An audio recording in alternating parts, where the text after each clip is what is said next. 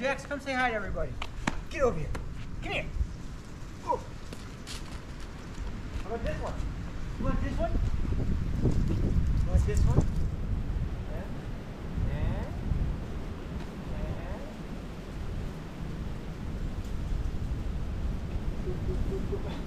You know, you don't know how to play.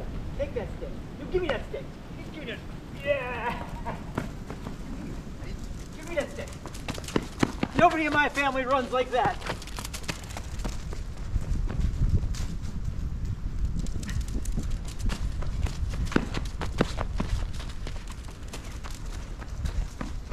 All right. Ah, it is a really good thing we got that heat done. Just nick of time. It is freezing today. Timestamp. All right, here's the deal. Spent a lot of time in the last week finishing the garage. Throw some pictures up in there. Got better storage.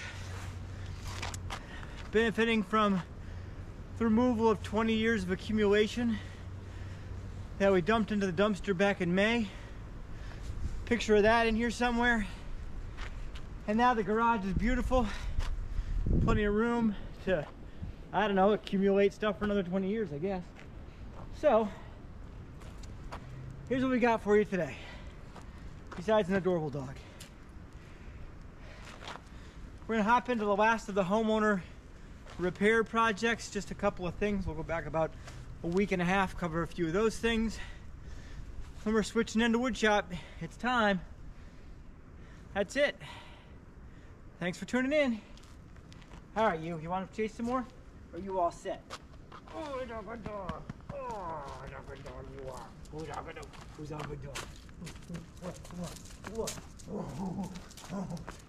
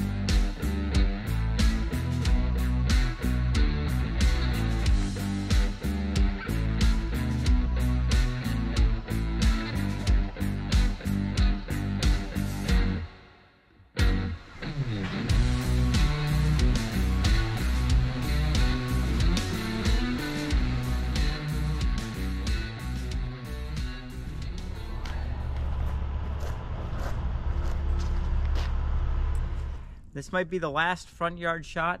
Probably will be, at least till spring, maybe ever. The outside is done. They have uh, paved the front driveway where it worked today. So essentially, that's the last step. Our house is done. I don't think it's been inspected yet, but they wouldn't tell me if it was. They'll only tell me if it didn't pass. So I think we're done with the contractors and hey Jax and the work. So on to my own tasks now. Whew! Tell you what, it's a lot. Right, Jax? Doofus.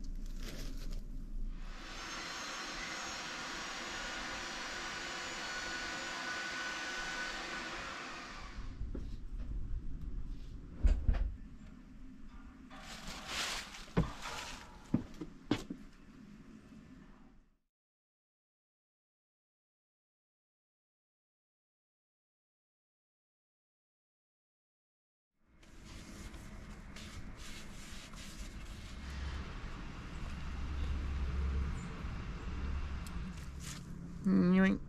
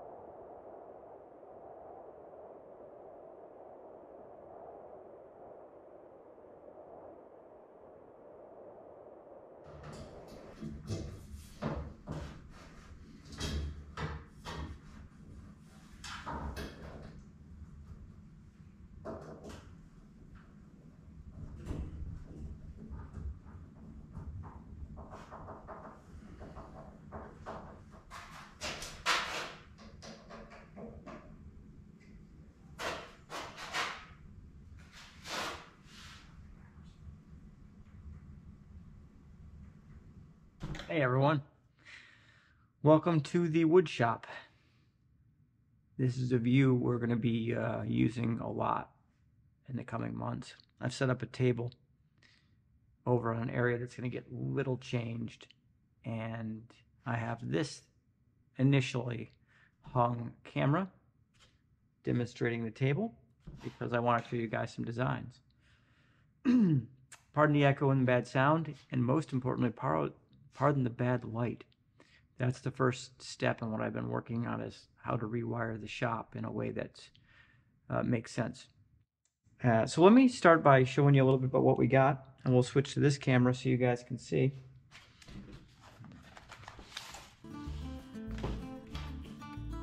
So this is my initial one square equals six inches design we are here.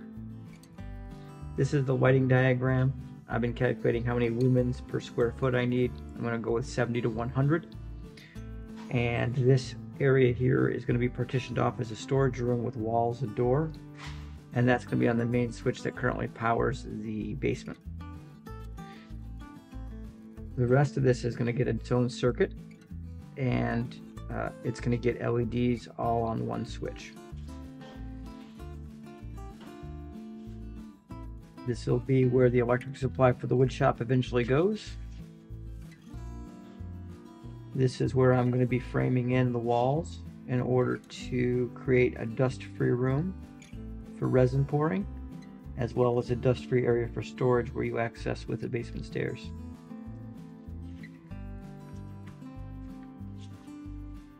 This is the dust-free room design, which is a work in progress. It's going to need power and mostly airtight uh, door and wall set framing, a compressed air feed, lighting, and blank. This is the current design of my panel. It shows where I have open breakers, where my current lighting system is powered off of, uh, if I'm going to do this, I'm going to do it right. So I've been working on my uh, electrical capacity. And I would like to thank Katz Moses Tools for this free woodshop design system. Uh, I haven't watched too many of his videos because he's a bit farther along than I am, but I stumbled across this and this is going to be very helpful. And so what I'm going to do next is set this up this is one half inch equals one foot. And with the designs of the shop already, I'm going to take my current tool location idea and I'm going to transfer it onto this, which I will video.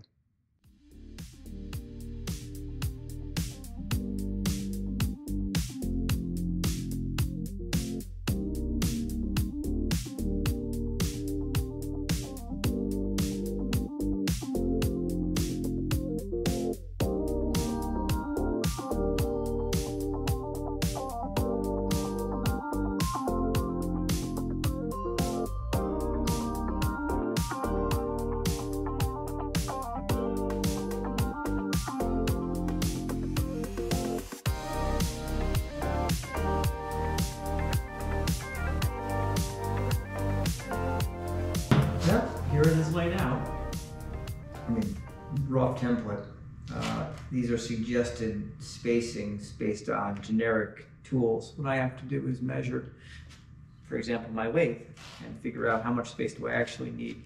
Uh, what dust collector am I going to put in this corner? Um, my air compressor may not need that much space.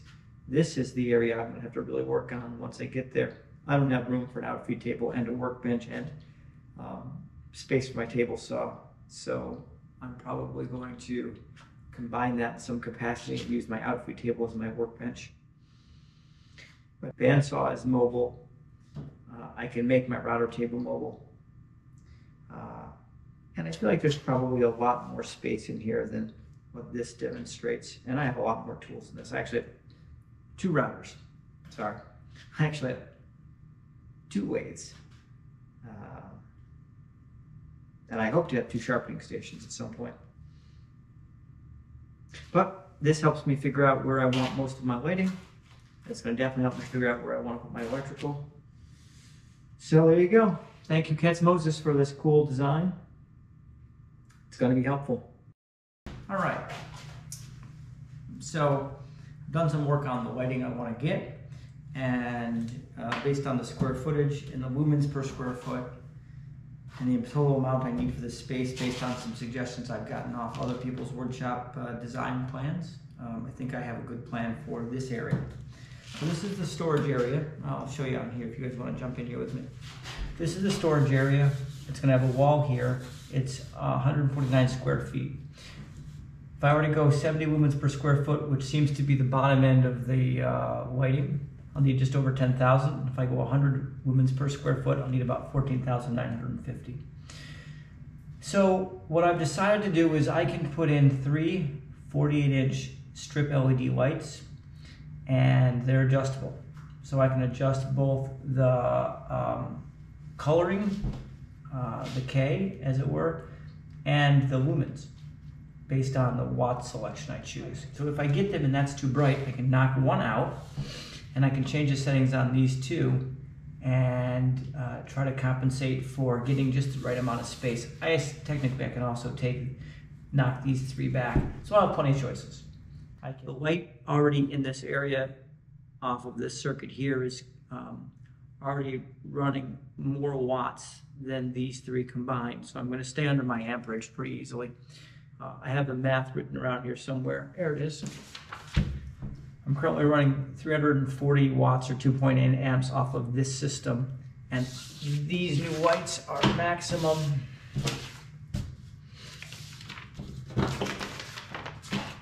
Forty-five watts each, so I'll be at 135 watts. Uh, much less. And then if I have to, I can make some other changes to that circuit, but I should be more than fine. So that's the plan. Ultimately, that'll give me about 96 lumens per square foot. And as I said, if that's too bright, I'll knock it back. I'd like to try to get the lighting for these as well today. Although I'm not ready yet, there's a nice 20% off sale. And it seems hard to pass that up, especially since I get free shipping. So I'm probably going to work on these right now and see if I can come up with um, a plan for these.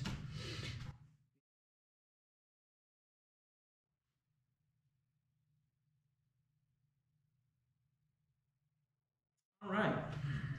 I think I got this figured out. Come down here with me. Okay. I need these. Main part of the basement, tools around the sides. I have a, I have a waste stack here, along with a water heater here, and uh, a lot of mechanicals in the roof. So I'm not to be able to put a light up there pretty e very easily. So what I think I'm going to do is I'm going to come uh, a light centered here against the far wall. This will be lathe, dust collection, bandsaw, scroll saw, things like that. Then um, another white here, which is over this door accessing from this room. These are all going to be flush mount up in the, uh, the uh, joist. And then I'm going to have uh, two more here. And then I believe, if you can see this, I'm going to have pretty large space here and I'm going to estimate five lights here. This on pure lumens is too much light, but I also have this area over here and a garage that needs lights. So my thinking is I'll buy all of these. And then as I install them, if I have dark spots or if I need space, I can again, I can make adjustments based on the amps I want to draw, the watts I want to draw, and I can increase and decrease my output, uh, staying at 5000K. So, one, two, three, four, five, six, seven, eight, nine, ten lights. This I still have to solve down the road. This I think I'm okay with. If that's too much light, some of these are going to go to um, the garage. The nice thing about these lights I picked out, this adjustment is going to give me the flexibility to play with it. Uh, also, the installation is really simple. All right, I'm going to go order some lights. Excellent. Questions, comments, leave them for me. Thank you. Be well.